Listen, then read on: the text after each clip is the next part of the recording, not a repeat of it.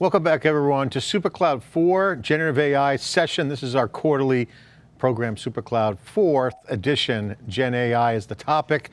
We're here with an exclusive fireside chat with Google Cloud's June Yang, VP of Cloud AI and Industry Solutions at Google Cloud. June, thanks for coming back on theCUBE. Good to see you. CUBE alumni coming in remotely into theCUBE for this awesome exclusive fireside chat for SuperCloud 4. Thank you for having me. It's great to be back. Well, I want to just say that we were super impressed. We gave you guys very high marks at Google Next this year. Just the AI craziness going on in the hype market really delivered a lot of strong demos, real product, real next gen functionality with Duet AI. Vertex is the program. A lot of people really leaning into saying, next gen is here. I mean, this is happening, it's legit. Not just hyped up, the game is matching the hype. That's pretty much the conversation. Now, a lot of people are trying to get their arms around it. You hear words like guardrails and you know, we've got to be careful, but this is happening. A lot of change super fast is changing the industry. Obviously, you're on Industry Solutions, you're VP of Cloud AI. I mean, you got the perfect job. You got the AI and you got the impact side with the, with the industries. Every industry is going to be disrupted and refactored. Major inflection point. Google just celebrated its 25th anniversary in the web, okay? 25 years ago, the web changed everything. Now AI is changing everything. Welcome to this fireside chat. Thank you, thank you. I mean, I think as you're talking about the web, right, we think about, hey, the web is the first wave of change, mobile, and then now kind of AI, right? So it's kind of like web first, mobile first, now AI first.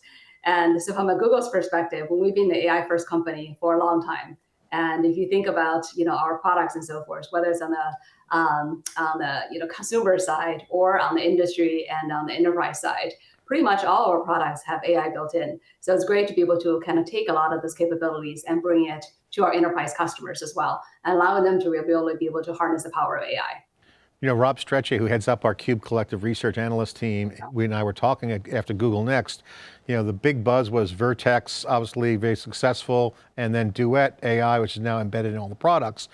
But there's a lot of other announcements going on that was in the kind of the cloud. I won't say it wasn't important, but it wasn't taking the main press press position and the, the discussion was around AI, but again, this is trickling throughout Google Cloud's products. From storage, we talked with Satya and we saw um, uh, Mr. Lohmeyer, another, both CUBE alumni out there.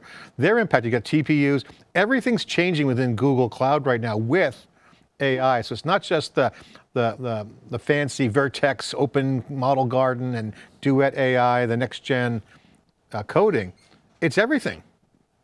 It is, it is. I mean, we think about AI as really just a um, integral part of Google Cloud, right? Pretty much every product has AI built in, right? You talked a little bit about TPUs and GPUs. Those are the fundamentals, right? The AI models all runs on our TPUs and GPU stack. So very much, you know, kind of very much an integral part of the, of the stack. Then of course, as you rise higher up, you think about customers wants to be able to build AI or build application with AI. This is where Vertex AI come in. And of course, when we think about using AI in our Google you know, Cloud products, whether it's in Workspace, Duet AI for Workspace or Duet AI for GCP, right? So those are kind of the areas where we have taken our AI capabilities and really made them usable so that customers can take advantage of them. Not don't have to know anything about AI; they just make their life easier. So whether it's developers who's trying to you know code, getting some code help, or it's a you know uh, it's a you know just regular um, business user trying to use uh, um, you know Google Google Docs and be able to say, hey, help me write something, right? so those are kind of easy ways for, as applications. That's kind of uh, taking the ability of AI uh, and making that a reality. And of course, Duet AI is built on top of Vertex AI. Um, so this is kind of our way of a dog fooding and actually yeah. really using our own products uh, for various purposes too. I want to get into some of the demos we saw at Google Next and all some things that are happening now since then, which got the most uptake, where the traction is. But before we do that, June, talk about your, what your role is. What is your job there? Because you're the vice president of um, the AI and industry eh, companies, industry verticals. What's the, what's your, what's your job?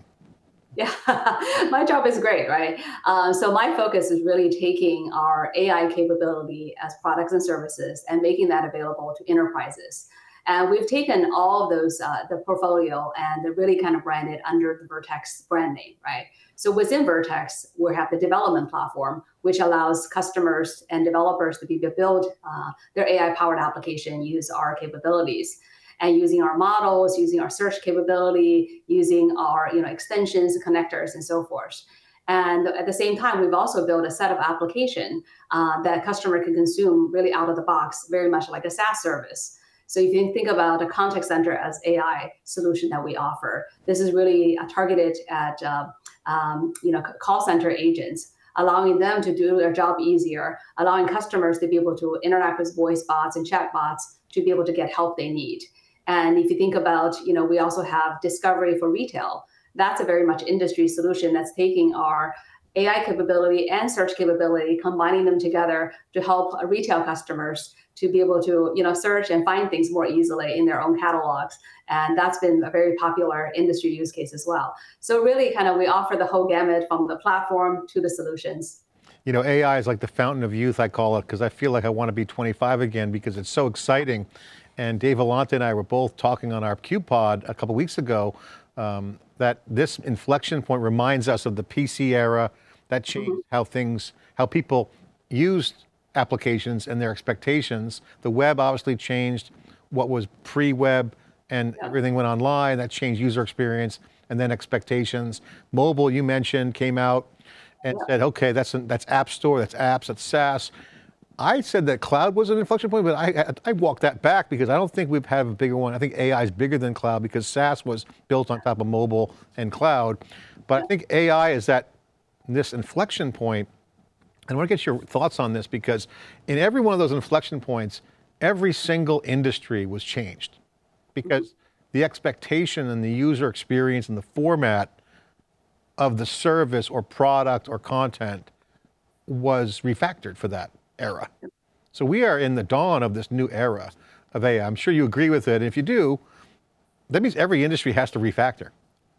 Yeah, I think every industry had to think about how they're going to do things, right? If you think about AI, right, we I think about this wave of generative AI is really a very large, massive scale of democratization.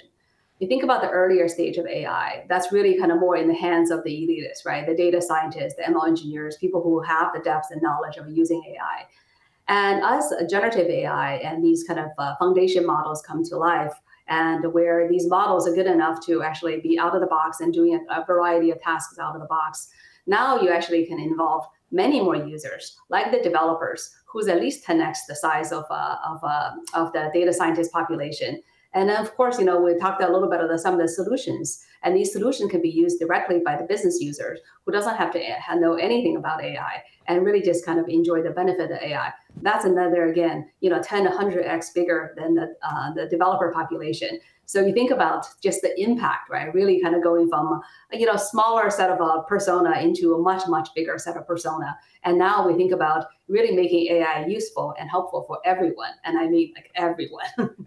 you know, I, I, I, people ask me why I'm so excited about AI, and, I, and one of my answers is I've never done so much GitHub code review, browsing. I've never done so much paper reading in terms of academic papers. I've read more academic papers in the past eight months than the past eight years. Um, and I just read a paper last night um, that was put out by the FDA, uh, um, mm -hmm. the US FDA, using artificial intelligence machine learning in the development of drug and biological products. It's, a, it's positioned as a discussion paper and mm-hmm. request for feedback. And mm -hmm. I mm-hmm. bring that up because um, when I was talking to folks in, it was at this conference uh, this past week in uh, Montreal about this, um, their first reaction, again, these are, these are smart people, they're kind of techie, but they're not in the, inside the ropes. Their first mm-hmm. reaction was, there's hallucinations, we got to be careful. They, like they went to the doom and gloom. They didn't say, they, they weren't totally negative. But the, the FDA is not saying it's bad, they're just saying, be careful of the data. So we're at this discovery phase in every vertical again, people are putting out papers. Mm -hmm. Is there a right approach? What should people be thinking about that are watching this as every industries are doing these discussion papers, the request for feedback? Is there a best practice? Is there a playbook that you can share that Google sees, Google Cloud AI sees as a way for people to move the needle without creating a lot of gloom and doom fear? Yeah, for sure. We spend a lot of time kind of talking with customers about use cases. What's the right set of use cases to get started with, right? Um, I think there's a few sort of characteristics that people want to think about. Um, you know, one point I want to make is that this is one of those areas that you want to start start now. and then be able to iterate and improve, right? You might not get it right the first time, but you need to get into the game and start learning about it, see what they can do. And this technology is also happening and evolving and innovating at such a rapid pace. I'm sure, like John, you're following this. Like every week, every month, you're seeing sort of a progress, right? And uh, and this is not something you see in other technology space where you know you make weekly progress on. And so it is pretty amazing to see just how quickly it has matured and how quickly the ecosystem had built up and all that. So coming back to sort of customers, especially enterprise customers, we start with thinking about what are the right set of use cases to work on, right? So what are some characteristics of the use cases, right? I think use cases is that something that, you know, one is that you think about, you know, these models are nascent and uh, the generative AI is powerful, but it's also nascent technology. So you want to find use cases where it can demonstrate, it can uh, create value, and but at the same time, it can tolerate some level of uh, of faults in there, and because you know none, none of the model is going to be fault proof, right? Um, so if you think about use cases, like for example, I want to use my uh, this model to be able to help me to do marketing, uh, uh, marketing collaterals, right? And giving some prompts to creating marketing materials and so forth. That's a fairly fault tolerant use case. And you can take use that as a basis and then be able to kind of adjust and modify. But it helps you to be able to explore a variety of design directions, whether it's in terms of the images or in terms of content or you know tweets and so forth, very quickly and be able to uh, you know kind of accelerate so that's a you know example of a good set of use cases to do. Another set of use cases you think about is that things that's actually grounded on enterprise data to reduce the amount of hallucination. Um, so this is where we think about, you know, we have a lot of customers and enterprise customer all have a large repository of enterprise content. And they have lots of documents, they have lots of content that's sitting everywhere on the website and often they want to have a q&a with their uh, documents right? To say hey how can i summarize my analyst reports right? Find out my, what my earning is for the last quarter and compare it with the three quarters before, before that etc those are very common questions that we get.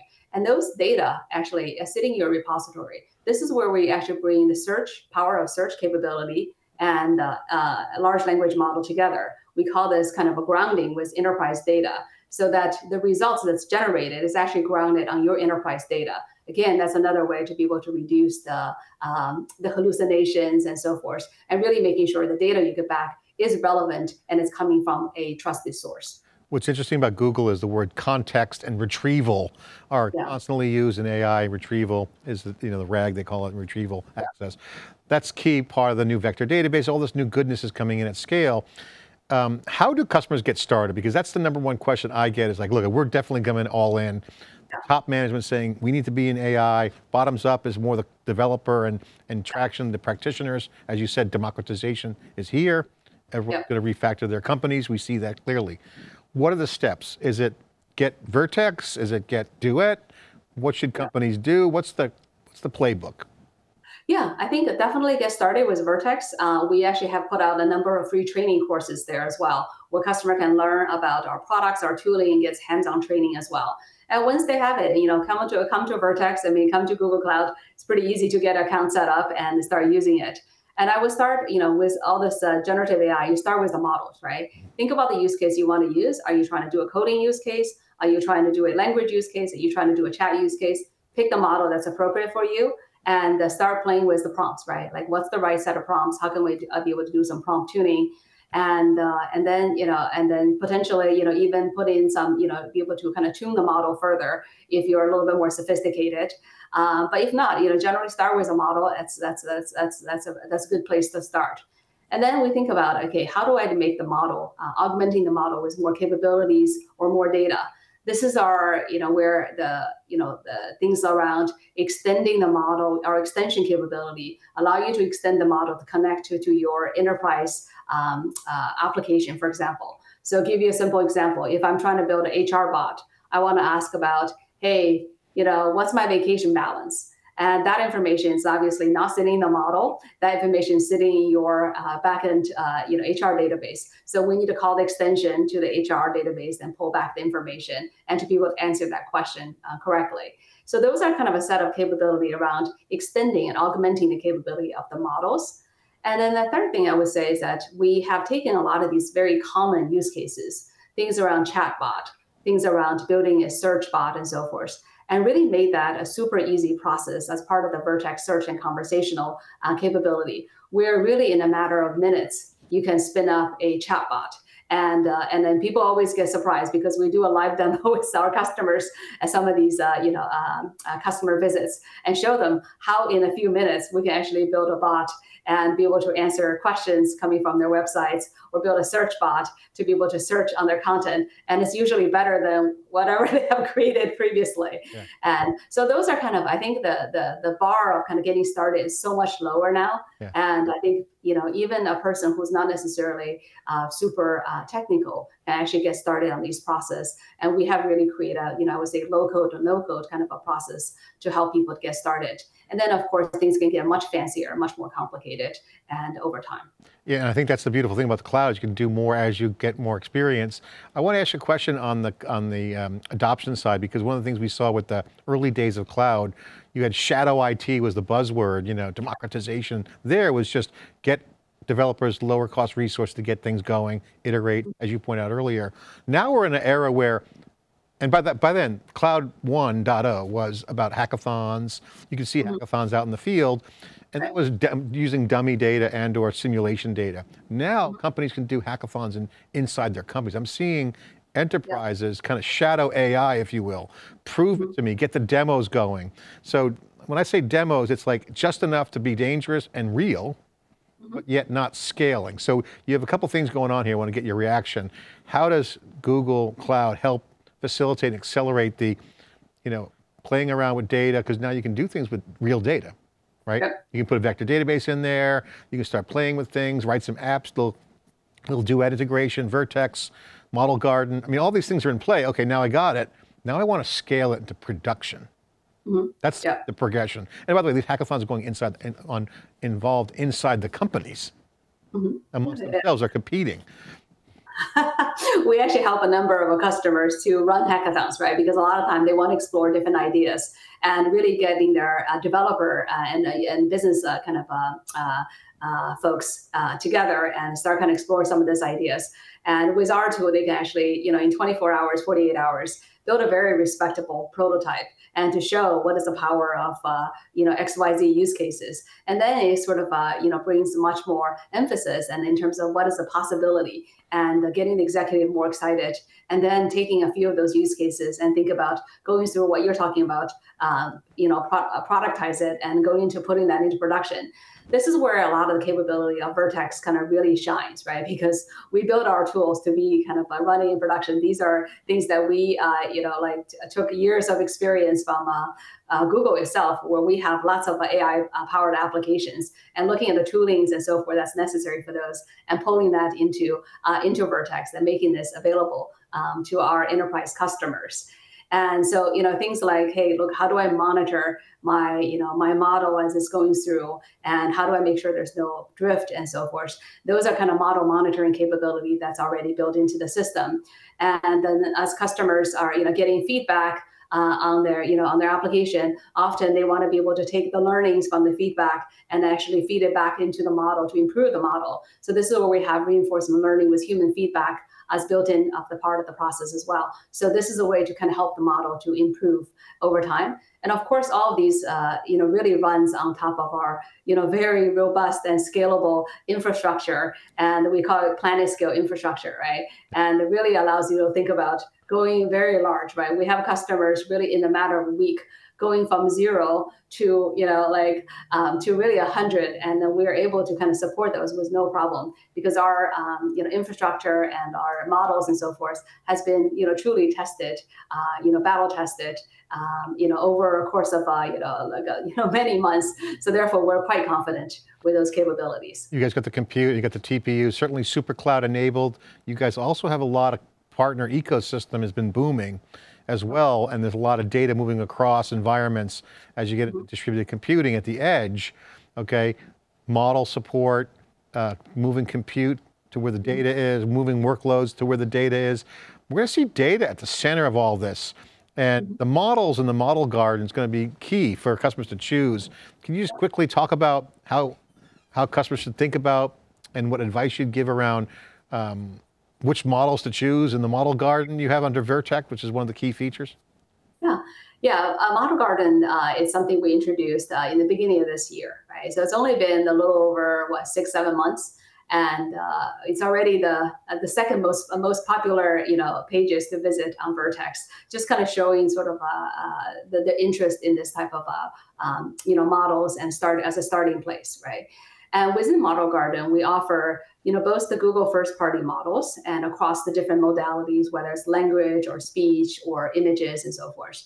We also offer open source model like Stable Diffusion, uh, OpenLlama, and uh, uh, CodeLlama, et cetera, uh, as well as the kind of third party partner models as well. Our goal is really kind of giving customer choices, right? They should pick and the model that's best fitting for their particular use cases and have the flexibility uh, to choose.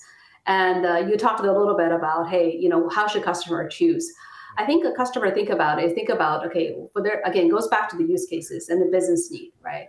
Um, and then also under, understanding that the model prices is, uh, is very much scales with the size of the model as well.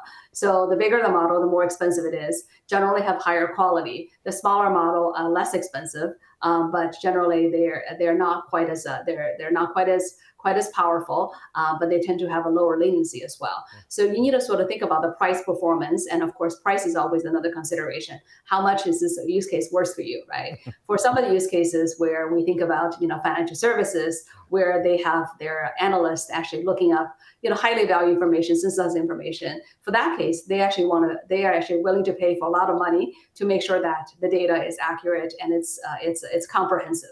For some of the other use cases, not so much, right? I'm not willing to pay that much for a chatbot on my web website uh, for certain use cases. And so you want to sort of think about what is the what is the what is the price performance you're trying to hit, and uh, and then sort of picking the right uh, places, uh, you know, right price points. Uh, the thing is, we offer sort of variety of um, you know kind of options for customer and uh, allowing them to choose. And then going with that, other thing how customer always ask about to say, with all the different models, how do I actually evaluate these models? Which one's better for me? Right. So this is where our model evaluation framework come in. And so we this is uh, something we obviously do day in day out basis. And we're putting this out there for customer to allow them to be able to use our model evaluation tooling to be able to compare two different models or two different sizes and decide what's best for their use cases. So they have a, taking a much more systematic approach um, to uh, to this model selection versus just like, hey, I feel like this is better or I feel that is better. There's going to be a lot of models going to be working together with each other. We've got a power law. We've got a big research piece out on the power law of